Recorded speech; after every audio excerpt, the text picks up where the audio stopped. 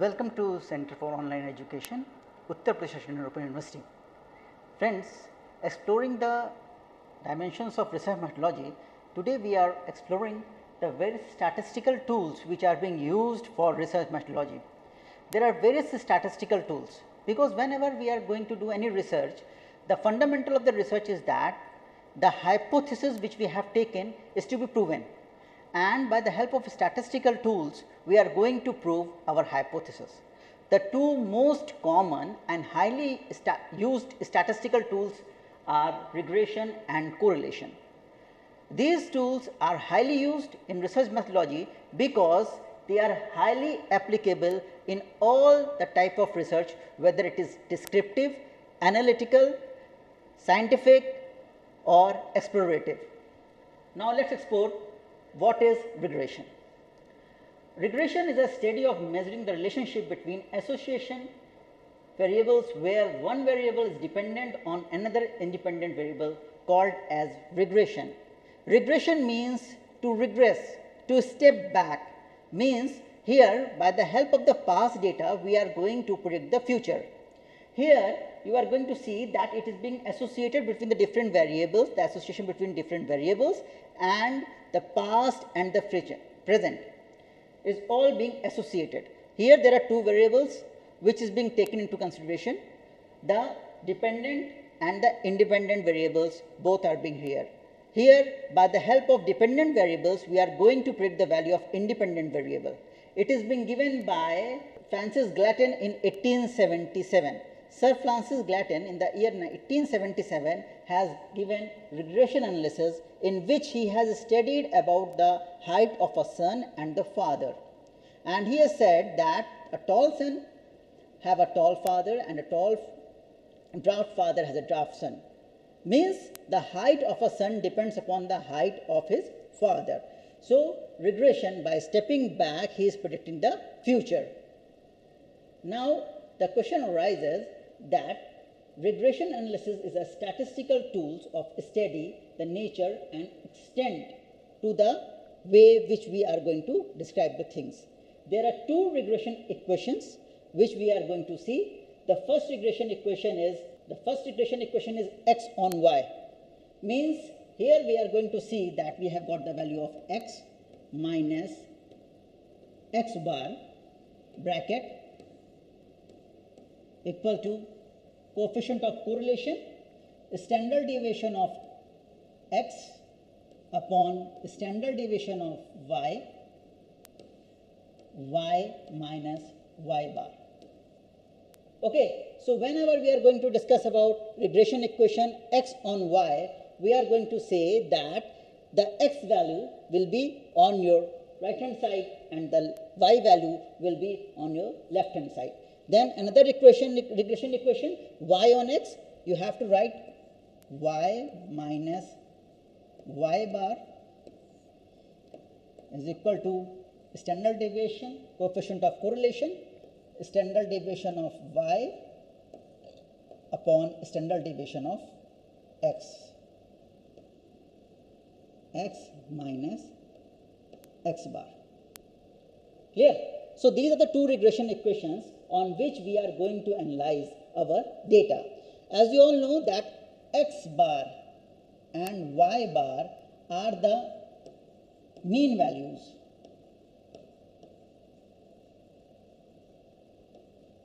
Of x and y series. Right? So these x bar and y bar here also see these are the mean values of x and y series. This this is standard deviation of x and standard deviation of y that is known as the SD standard deviation of x and y series and this stands for coefficient of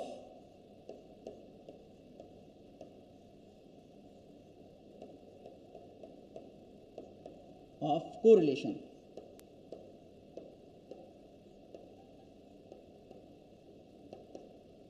right? So, whenever you have got a data and you have to predict the future on the basis of your past data, you are going to apply the regression analysis. In the previous lecture in statistics, I have told you how you are going to apply this regression tool in the statistics. But whenever we are going to use these statistical tools in research work, it is very important for a researcher to know how he is going to apply this tool in his research work. So, here he has to take two variables. One is the dependent variables and the independent variables. And on the basis of dependent variables, he is going to predict the future of the independent variable. Whatever is independent, you have to keep it over here, this side, and what is being dependent, you have to keep over here. Means whatever you are going to find the value, if you are going to find a value of something, you are going to put it over here. Unknown value should be put over here. For example, if you are going to find the relationship between height and weight of a certain Jawans, then if the weight is being given, if you say x is the height,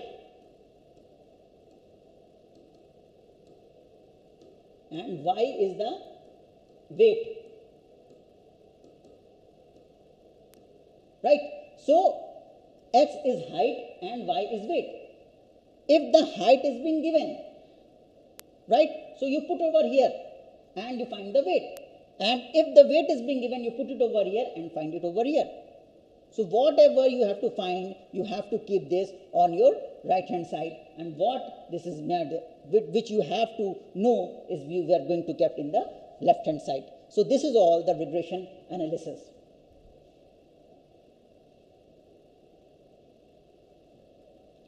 Now, what are the uses of regression analysis? It provides estimates of variables of the dependent variables from values of independent variables. By the help of regression analysis, a researcher knows about the independent variable. Why? Because the uh, dependent variable is there. It is being fixed. So, he is going to predict the independent variable by the help of regression analysis. Second point, it is used to obtain the measure of errors involved in using the regression line as the basis of estimation. As I have told you, there are two regression lines, x on y and y on x. So, by the help of regression analysis, a researcher used to obtain the measures of errors which has been involved in that specific area and by overcoming that error, he is going to get the best prediction. Then the third point is with the help of regression analysis, we can obtain a measure of degree of association or correlation that exists between the two variables. We can measure the degree of association and we can measure the cause and effect impact means if there are two values we are going to help that if the dependent value is being there what will be the independent variable and what is the impact of that independent variable on the dependent variable for example if you are taking a study on the rainfall and the production of crops so rainfall is an independent variable but production of crops depend upon that so somewhere it is dependent so, by the help of the rainfall, you can predict that this much of rainfall is there in the year. So, automatically this much of production will be obtained in a specific year. Now, fourth one, it is highly valuable tool in economics and business research since most of the problems of the economic analysis are based on cause and effect relationship. Means it is one of the most vital and important tool in economics and business studies because it tells about the cause and effect impact. If you are employing 500 employees for a new organization, what will be the impact of those 500 in the organization in the coming future? Because by giving employment to 500 new employees, you are going to get uh, most of the expenditure on salary and various other sources. So each and every employee has to give his best to get the best output. Means there is a cost and effect relationship which is being measured by the help of regression analysis. Regression analysis is only being used when you have a past data and you are going to predict the future on the basis of that past data. Now see that what is correlation? Correlation is a statistical technique to ascertain the association or relationship between two or more variables. In correlation also, we are going to associate the relationship between two or more variables. But here, what we are going to do is that we are going to find the magnitude, the direction, and the degree in which they are joined, in they are related. So, here the direction is also being known by the help of correlation. Now, correlation is a statistical technique to ascertain the association of relationship between two or more variables. It is a statistical technique to study the degree and direction of relationship between two or more variables. As I have told you that here the degree that how much they are related, whether they are positive related or whether they are negative related, this can easily be done by the help of correlation. Why we use correlation? A correlation coefficient is a statistical measure of the degree to which changes to the value of one variable predicts change to the value of another variable means how much a value is having an impact on other value. If you can find the impact of oil and the growth of hair. So, how much of quantity you are using the oil and what is the growth of your hair. This is directly being related. If it has got a positive impact, you are going to use that oil frequently. If you are using that oil and there is a hair loss, you are going to avoid that oil. So here there is a direct relationship between one value on another variable.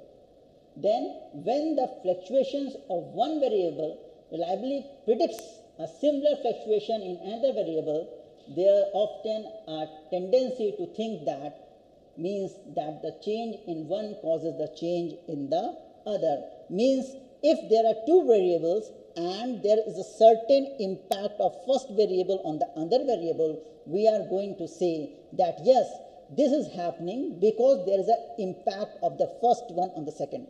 As I have taken the example of application of hair oil and the growth of hair.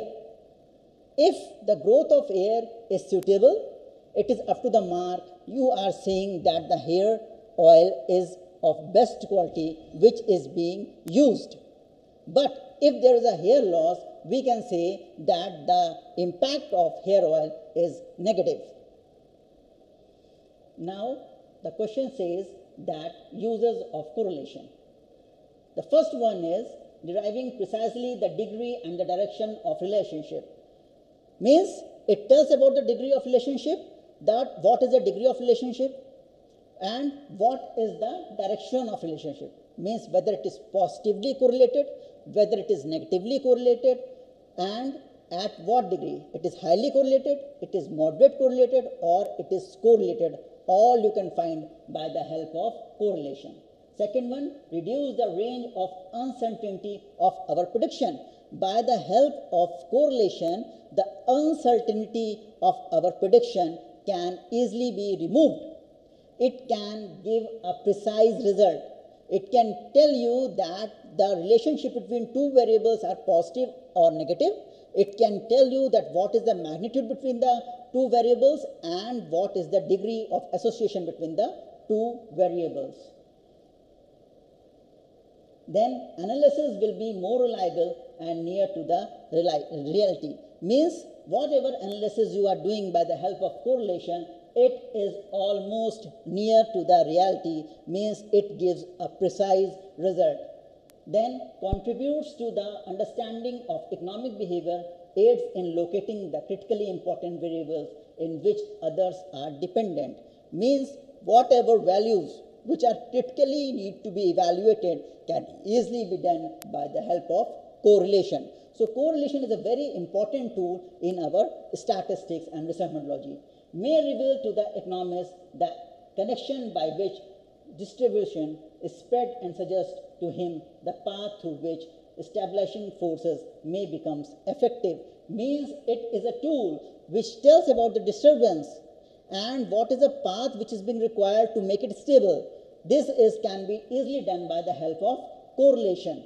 So it is an important tool. Then the last one is shows relationship between variable like precise and quantity demanded, advertising expenditure and sales promotion measures, etc. Means it is being used in each and every field of management, whether it is production management, marketing management, HR management, or any field of management, financial management, you can use this correlation methods. The measure of coefficient of correlation is relative measure to the change. It predicts the relativity that it is based on the value of another value. Means both the variables are having an impact on one another. Then you can say there are what types of correlations are there? There are three types of correlations which we are going to find. The first one is the positive correlation. Okay, so when we say that the impact of one series has a positive impact on the other series, we are going to say that it is positively correlated. Means both are going towards the positivity. Now the second point says that when the impact of one series has a declining impact on the other series, we say it is negatively correlated. This is known as the negative correlation, means they are going towards the downfall.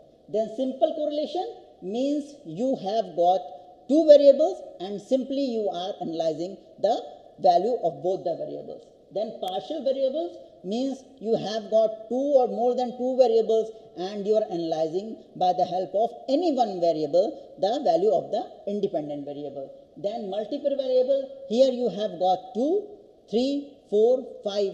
There is multiple chains, multiple variables, multiple series and you are taking any two or any three and you are calculating the value of correlation, the impact of any one on the other is known as the multiple correlation. Linear correlation, when the value of a correlation comes in a single line like this, it is a linear correlation. Means it comes in the single line. But non-linear correlation says that when the value comes like this or you have got chart like this or you have got chart like this, you say it is non-linear means it is not in a specific line, it is in a curvy linear form.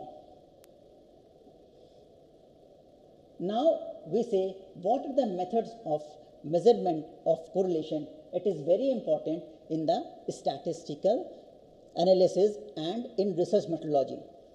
As you all know that in research methodology and basically in social sciences, you will find a researcher from different field. He might be from mathematical background, scientifically background, or he might be in commerce or management background, or he will be from arts background. So there are different methods by which we can use this correlation tool for the application of our research work, for our analysis. So the first thing is the scatter diagram. In the scatter diagram, what we used to do is this, that we used to take the chart and on the basis of that chart, we used to scatter the different values. And on these values, we used to put two lines and we say that this is correlated. This is known as a scatter diagram. Then you have got graphical method. In graphical method, we take graph X series and Y series and we form two lines or more than two lines and on the basis of that we are going to predict that what is the relation between the two series. Then the third one is the algebraic or mathematical method.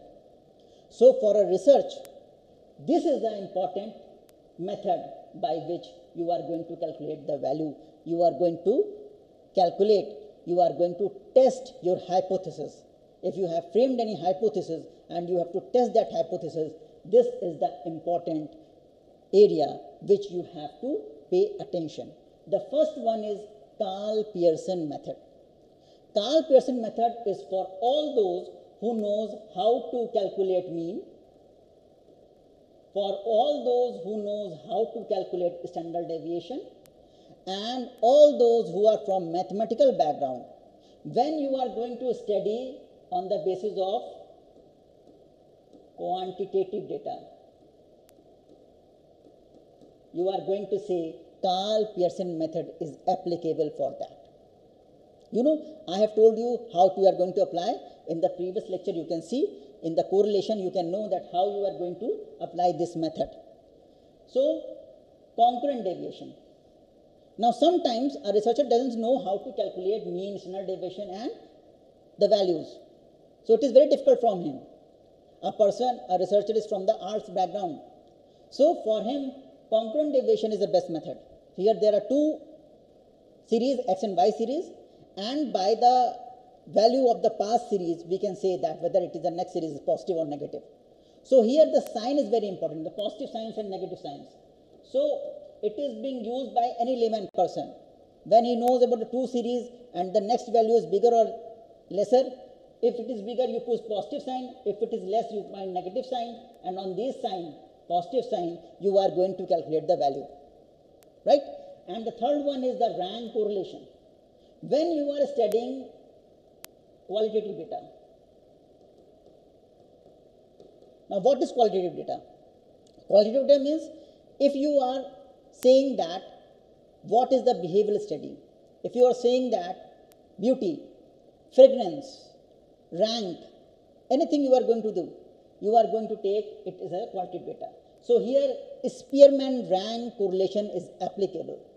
The formula is very simple 1 minus 6 summation d square n n square minus 1. This is the formula. But this method is only being used when you have got a qualified data. This method is being used when you have got quantified data. This method, quantified data. This method is also used in the quantified method. Right? So here the difference of ranking is being here. D stands for difference in rank. Means when you have got two rank, rank 1 and rank 2. So you have to take the difference and that difference is known as the D and you have to square that value. Why? Because sometimes the value of rank 2 will be bigger than rank 1. So you are going to get the negative value. So to make it positive, you are going to square this. So here formula is saying that you have to square it. Then n, n is the number of terms in the series. You put it over here and you will find a value. Now the question arises that what type of answers we can get by applying correlation in our research work. As you all know that I have told you that correlation tells about the degree. Means it tells about highly correlated value when the value is between 0.99 to 0.75. Then you have got moderate. When you have got value 0.75 to 0.55 and you have got low when you have got value 0.55 to 0.05 here so if the value is coming 1 you can say that it is perfect correlated that is your value will be 1. Right? It is perfectly positive correlated. And when it is minus 1, you say that it is perfect negative correlated. Right? So, if you are saying, take an example that you are studying on the training and development of any two organization or more than two organization because you have you are using simple correlation, multiple correlation, and near correlation. For example, you are going to take four companies.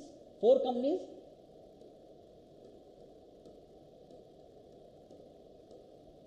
The first one is TCS. Second one is Infosys. Third one is Wipro.